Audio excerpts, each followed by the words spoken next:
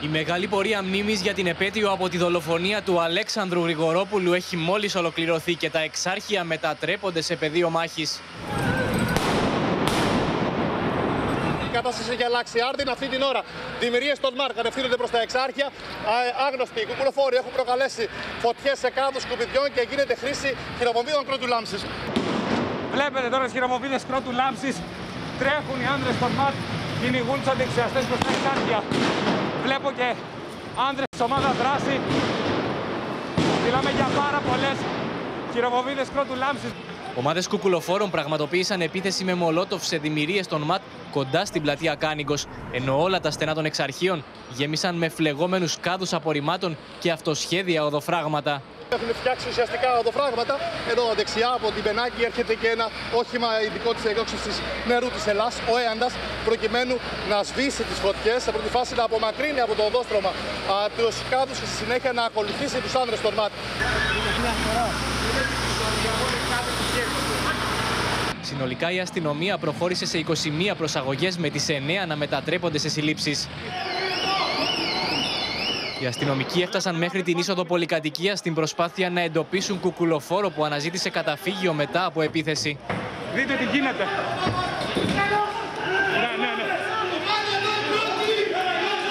Οι ομάδες πρόληψης και καταστολής εγκληματικότητας βρέθηκαν στο σταθμό του ηλεκτρικού, όπου ομάδα ατόμων προπυλάκησε αστυνομικούς που εγκλωβίστηκαν στο σταθμαρχείο. Αστυνομικοί της ΟΠΚΕ έκαναν έφοδο λίγο μετά τις 9.30 το βράδυ στο σταθμό του ηλεκτρικού της Ομόνιας, καθώς λίγο νωρίτερα άγνωστοι προκάλεσαν φθορές στα μηχανήματα ελέγχου των εισιτηρίων.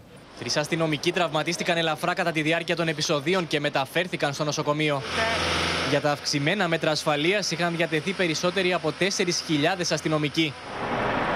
Οι δυνάμεις σχημάτισαν κλειό ακόμα και γύρω από το Χριστουγεννιάτικο δέντρο στην πλατεία Συντάγματος, υπό το φόβο καταδρομικής εμπριστικής επίθεσης.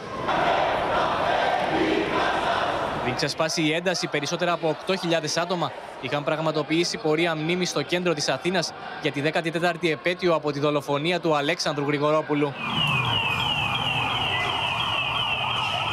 Εμπόλεμη ζώνη και η Θεσσαλονίκη.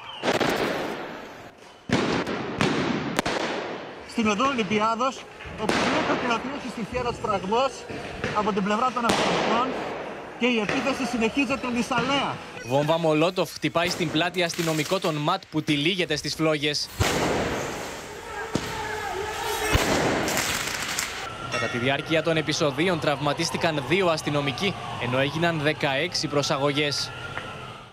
Ο Παναγιώτης Πυρόπουλος και πάλι κοντά μας. Είδαμε Παναγιώτη για ακόμα μία φορά σε πεδίο μάχης να μετατρέπονται περιοχές της Αθήνας και της Θεσσαλονίκης. Ναι, από ό,τι φαίνεται, Εύα, η διασπορά των αστυνομικών δυνάμεων στα μέτωπα ε, κοντά στους καταβλισμούς ε, Ρωμά, από ό,τι φαίνεται, έφερε και ε, μεγαλύτερα και εκτεταμένα επεισόδια στην περιοχή των Εξαρχείων. Το σχέδιο της Ελλάδα για την αποτροπή εντάσεων για την 14η θλιβερή επέτειο του θανάτου, της ε, δολοφονίας μάλλον του Αλέξανδρου ε, Γρηγορόπουλου, δεν προέβλεπε αυτές τις μαζικές κινητοποιήσεις για το σοβαρό τραυματισμό του 16χρονου στην Θεσσαλονίκη.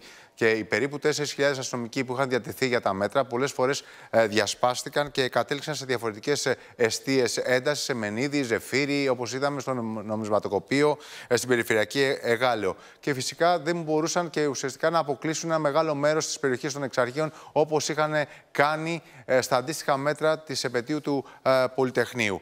Ε, υπήρξε ένας σκληφτοπόλεμο στην περιοχή των Εξαρχείων. Ομάδες ε, κουκουλοφόρων μπορούσαν και έστησαν οδοφράγματα με κάδους απορριμμάτων. Εκτόξευαν από διαφορετικές πλευρές ε, πέτρες, αντικείμενα ε, και βόμβες ε, Μολότοφ. Η ελληνική αστυνομία προχώρησε σε τουλάχιστον 21 προσαγωγές, εκ των οποίων οι 9 μετατράπηκαν σε συλλήψεις. Δημιουργίε στο ΜΑΤ δέχτηκαν βροχή από βόμβες Μολότοφ, όπω τουλάχιστον αναφέρουν αστυνομικές πηγές στη συμβολή των οδών Ναβαρίνου και Αραχώβης. Γίνονταν εκταμένη χρήση χειροβοβίδων κρότου λάψης αλλά και ε, δακρυγόνων ε, στην ε, κατοικημένη περιοχή των εξαρχείων. Ε, μάλιστα, εγκαταλείποντας στο κέντρο, όπως είδαμε και στο βίντεο, κάποιες ομάδες νεαρών που κάνουν αυθορέ ακυρωτικά μηχανήματα. Ε, Προσαγωγές έγιναν σε πάρα πολλές περιοχές, στην Τζόρτζ, στην Κάνικο, στην Μπενάκη. Ε, μάλιστα, σε κάποιες από αυτές, στην οδό Τζόρτζ, ε, φαίνεται να γίνεται και μια χρήση δακρυγόνου μέσα σε πολυκατοικία που φαίνεται να είχαν βρει καταφύγιο κάποιοι από τους συγκεντρωμένους. Οι δυνάμεις που κλήθηκαν μάλιστα να εφαρμόσουν ουσιαστικά τα μέτρα, είχαν ε, μπει και στη διαδικασία ε, να σχηματίσουν και αστυνομικό κλειό γύρω από το Χριστουγεννιάτικο δέντρο της πλατείας Είδαμε και τις σχετικές εικόνες στο ρεπορτάζ. Ευχαριστούμε πολύ, Παναγιώτη Σπυρόπουλε.